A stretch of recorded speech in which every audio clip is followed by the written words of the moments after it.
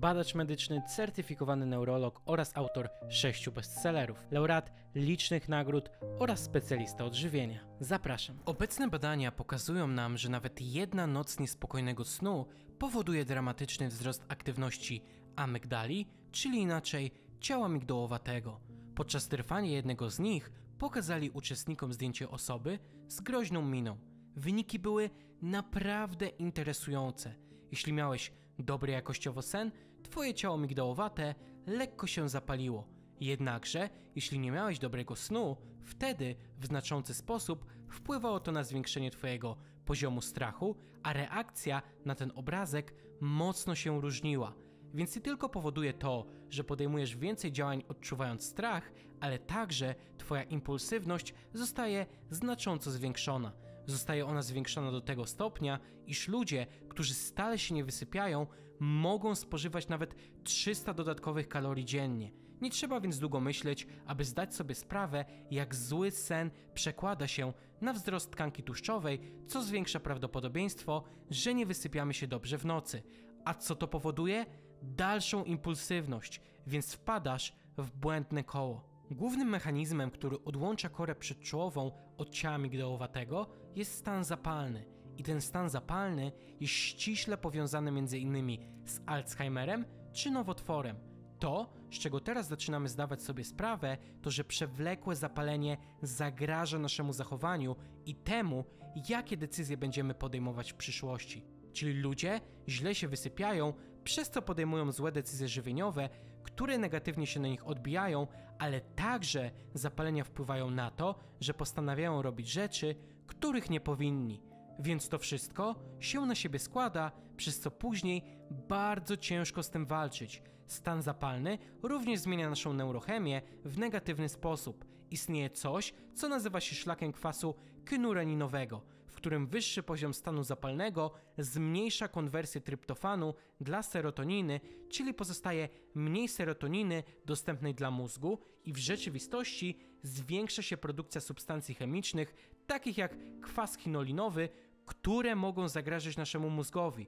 To kolejny z powodów, dlaczego tak bardzo chcemy się go pozbyć. A więc Twoim zadaniem jest wprowadzić jak najwięcej czynności, które Ci sprzyjają oraz pozwolą bardziej połączyć się z tą częścią płata czołowego, dzięki czemu będziesz lepiej kontrolował swoją przyszłość oraz podejmowane decyzje, które nie są oparte na uczuciu strachu, tylko na empatii oraz docenianiu tego, co znajduje się wokół nas.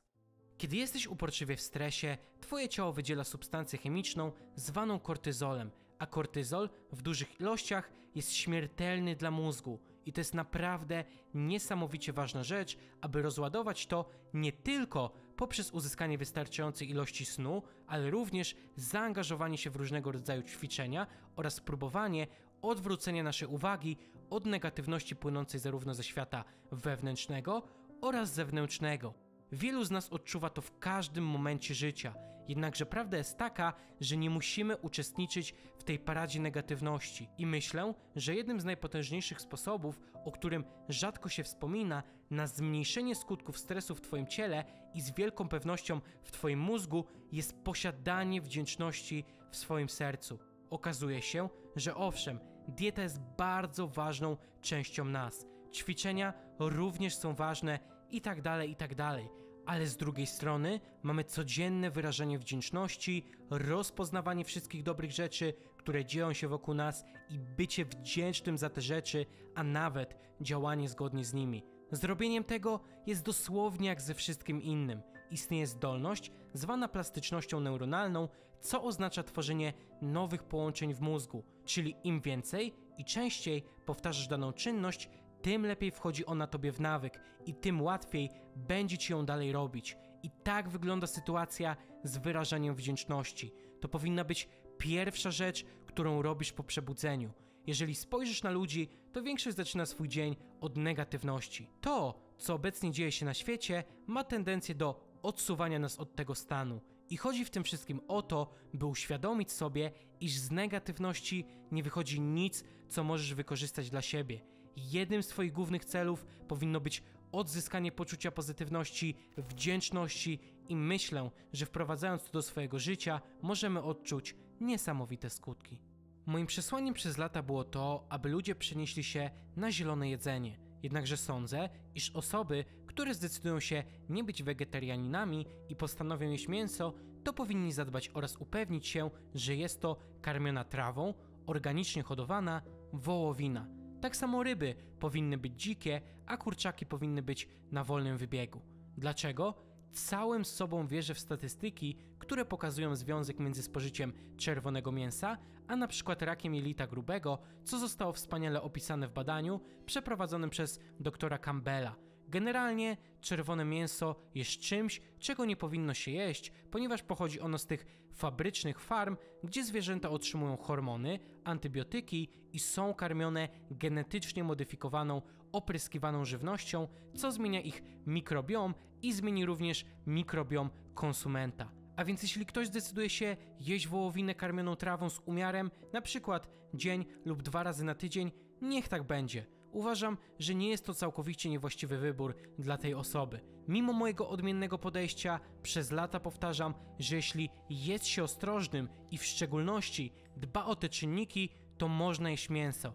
Jednak w ostateczności myślę, iż dobrze jest ocenić swoje osobiste przesłanie.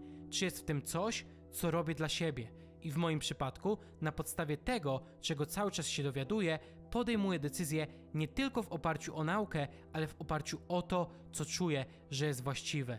Czy to, co robię, sprawia, że czuję się dobrze nie tylko wobec siebie, ale wobec innych, z którymi dzielę tę planetę i dlatego osobiście kieruję się bardziej w kierunku diety opartej na roślinach. Spójrz na przykład na słonia. Wielu ludzi myśli, że jeśli skupią się tylko i wyłącznie na roślinach, ich mięśnie ulegną atrofii. Cóż, to tak nie wygląda. Oczywiście, musisz mieć białko w diecie, ale przesadzanie z tym wpływa na podniesienie poziomu cukru we krwi poprzez glukoneogenezę, a także zwiększa aktywność niektórych szlaków. Jednym z nich jest mTOR, przez co naprawdę zagrażamy naszemu statusowi antyoksydacyjnemu i wzmacniamy ścieżki genowe, które nam nie służą. Pacjenci, którzy mają celiakię, czyli nietolerancję na gluten, stanowią około 1,6% naszej populacji. Ci ludzie są totalnie zniszczeni przez ich ekspozycję. Poza tym mamy ludzi, którzy są uczuleni na pszenicę, a potem jest grupa osób, które czują, że mają objawy kliniczne związane z jego spożywaniem. Nazywamy to nieceliakalną nadwrażliwością na gluten i myślę, że badania jasno potwierdziły, iż jest to prawdziwa jednostka chorobowa i być może cierpi na nią nawet jedna piąta naszej populacji. Ale poza tym, kiedy spojrzymy na naukę pod kątem tego, co gliadyny jako składnik glutenu robi w ludzkiej fizjologii, to zwiększa on przepuszczalność jelit, co jest podstawą stanu zapalnego. Fakty są takie, że gluten jest pokarmem, którego nigdy nie spożywaliśmy w naszej historii, z wyjątkiem całkiem niedawnych czasów, kiedy to pszenica w końcu zadomowiła się na stole. A więc jednym z elementów, który pozwoli nam przywrócić prawidłowe funkcjonowanie mózgu, jest przejście na dietę bezglutenową. I pewnie słyszysz, że potrzebujemy błonnika, ale to nie jest to, co dostaniemy z pszenicy. Rzeczywistość jest taka, że ten błonnik jest dostarczany w taki sposób, że stanowi zagrożenie. Jest przekazywany z dużą ilością węglowodanów, których nie potrzebujemy.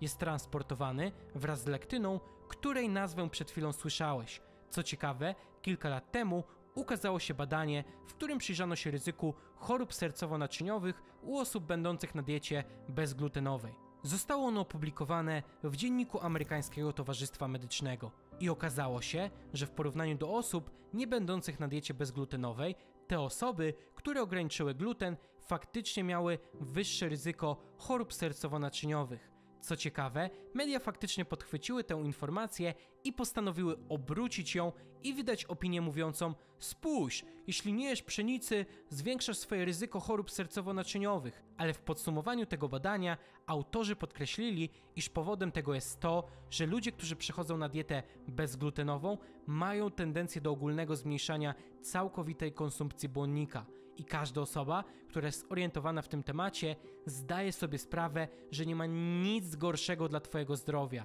Chcemy dobrego błonnika, bogatych pokarmów w prebiotyki, które mogą zadbać o nasze bakterie jelitowe. Kiedy przechodzisz na dietę bezglutenową, naprawdę musisz być świadomy tego i wciąż upewniać się, że otrzymujesz odpowiednie ilości błonnika pokarmowego. Jeśli nie zainteresujesz się tym, to będziesz miał zwiększone ryzyko wystąpienia chorób sercowo-naczyniowych i innych stanów zapalnych. Na podstawie wielu badań wiemy, że wprowadzając wysiłek fizyczny do naszego życia, w naszym mózgu akumuluje się mniej toksycznego niebezpiecznego białka beta-amyloidu, co oznacza, że im bardziej jesteś wysportowany, tym niższy poziom beta-amyloidu, nawet jeśli nosisz allel APOE4. A więc wiemy teraz, że Alzheimer nie jest wyłącznie chorobą genetyczną. Jeżeli miał ją twój rodzic, ryzyko jest zwiększone. Jeżeli nosisz allel APOE4, również pojawia się mutacja genu MTHFR i jeszcze wiele innych genetycznych czynników, przez które oczywiście ryzyko się zwiększa, ale największe czynniki ryzyka, co jest niezwykle ważne, są modyfikowalne, a największymi czynnikami ryzyka jest wyższy poziom cukru we krwi oraz siedzący tryb życia. Są to najważniejsze sposoby na zapobieganie choroby Alzheimera, od której nie ma odwrotu. A jeżeli jesteś tego świadomy, zacznij już dziś temu zapobiegać. W jaki sposób możesz to zrobić? Wyjdź z domu i zacznij trenować. Jedz odpowiednio i ogranicz cukry. Pamiętaj również, że Twoje spożycie cukru i węglowodanów wiąże się z przybieraniem na wadze, a nawet zwiększonym ryzykiem śmiertelności. W 2015 roku przeprowadzono bardzo ciekawe badanie, które zostało opublikowane w czasopiśmie The Lancet i obejmowało ono 18 krajów na 5 kontynentach. W trakcie badania wykazano, że osoby, które opierają swoją dietę w większości na węglowodanach, miały około 28% zwiększone ryzyko zgonu, podczas gdy osoby, których dieta promowała spożycie tłuszczów dietetycznych, miały o 23% zmniejszone ryzyko śmierci. Myślę, że naprawdę powinniśmy rozważyć przesłanie ruchu paleo, które w skrócie polega na tym, że naszym zadaniem jest zrobić wszystko, co w naszej mocy, aby naśladować styl życia naszych paleolitycznych przodków, ponieważ jest to genom, który nadal wyrażamy. I zauważają oni epigenetyczne modyfikatory tego, jak zmieniamy ekspresję naszego genomu w oparciu o na przykład rzeczy, takie jak żywność, którą jemy. Jednak jeżeli odnosimy się do poziomu cukru we krwi, warto wziąć pod uwagę, że jest mało prawdopodobne, aby nasi paleolityczni przodkowie mieli wysoki poziom cukru we krwi lub mieli skoki cukru we krwi, czego doświadcza większość ludzi w tych czasach. I to właśnie te wysokie poziomy cukru w ostateczności prowadzą do tego, że nasze ciała rozwijają odporność na ważny hormon zwany insuliną, przez co jesteśmy bardziej narażeni na stany zwyrodnieniowe mózgu i innych rzeczy związanych z chorobami sercowo-naczyniowymi oraz oczywiście cukrzycą. Uważam, że medytowanie niesie za sobą ogromną moc. Są badania trwające od ponad dekady, które pokazują, że jeśli chcesz aktywować korę przedczołową, zacznij medytować i korzyści w postaci zwiększenia połączenia utrzymują się dłużej niż trwająca średnio kilkunastominutowa medytacja. Więc dlaczego by z tego nie skorzystać, skoro niesie za sobą takie korzyści? Również ponowne zaangażowanie się w relacje z innymi ludźmi niesie za sobą szereg pozytywnych zmian. Im bardziej jesteś w nie zaangażowany, tym bardziej te ścieżki są pobudzane. W jednej z moich książek podkreślam wagę ponownego połączenia się z naturą. Większość z dorosłych spędza swoje życie zamknięci w pomieszczeniach. Natura zmniejsza stany zapalne, jak również poziom kortyzolu, który jak wiemy może mieć dla nas negatywne skutki. Natura zmniejsza również poziom impulsywności i sprzyja lepszemu połączeniu z korą przedczołową i coś, o czym mało kto wspomina, natura sprzyja większej trosce o tym, co dzieje się wśród nas.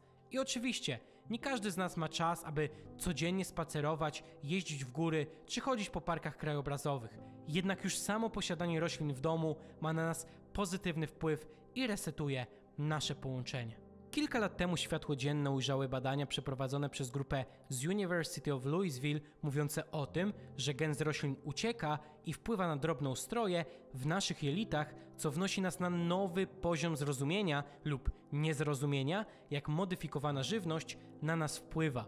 Na co warto zwrócić uwagę to, że genetycznie modyfikowane rośliny z definicji nie będą kwalifikowane jako ekologiczne. I od wielu lat wśród specjalistów toczą się zacięte dyskusje na temat tego, czy powinniśmy kupować żywność ekologiczną i czy jest to dla nas dobre. I nie mamy zbyt wielu badań interwencyjnych u ludzi na ten temat, ale pewnego czasu zostało opublikowane badanie z Francji, przeprowadzone na 70-tysięcznej grupie ludzi, które wykazało, iż istnieje około 25% mniejsze ryzyko raka, w tym chłoniaka jelita grubego i chłoniaka nieziarniczego u osób, które zdecydowały się nie całkowicie, ale zdecydowały się jeść więcej żywności ekologicznej w przeciwieństwie do tych, którzy nie zwracali na to uwagi. Jest to badanie korelacyjne, ale jeśli chodzi o mnie i zalecenia, które daję, muszę zwracać na nie uwagę, ponieważ sądzę, że dostarczają nam wartościowych informacji, a jest to naprawdę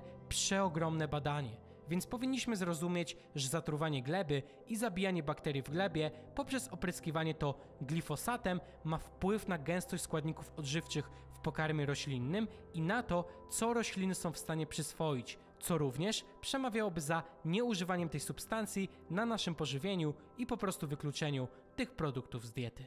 Jeżeli chcesz dowiedzieć się, co musisz zrobić z samego rana, tak żeby zacząć dzień z pełną energią, to koniecznie kliknij w odcinek, który znajduje się obok mnie. Widzimy się tam, koniecznie w niego kliknij i pamiętaj, że działanie jest najważniejsze.